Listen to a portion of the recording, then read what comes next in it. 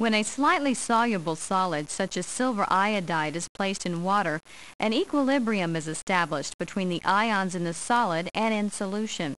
In this view, the water molecules that solvate the ions are not shown to simplify the illustration.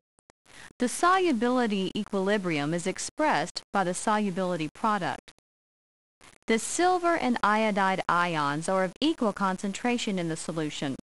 When sodium iodide, a soluble salt, is added, the concentration of iodide ion is greatly increased. This means that the product of the silver and iodide concentrations exceeds the solubility product constant. Because the product of the ion concentrations exceeds KSP, additional solid silver iodide forms until the product of the iodide and silver ion concentrations again equals KSP.